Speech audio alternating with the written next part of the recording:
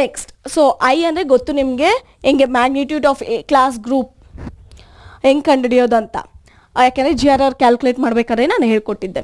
Next W S F R ಅಂದರೆ ಗೊತ್ತು women specific fertility rate main thing of female next ಅದು ಹೆಂಗೆ calculate ಮಾಡೋದು ಅಂತಲೂ ಗೊತ್ತು? B by P into thousand especially of female population okay next survival rate S ಅಂದರೆ ಏನು? Survival rate N R R ಅಲ್ಲಿ ಮಾರ್ಟಾಲಿಟಿ ರೇಟ್ ತೊಗೊಳುತ್ತೆ.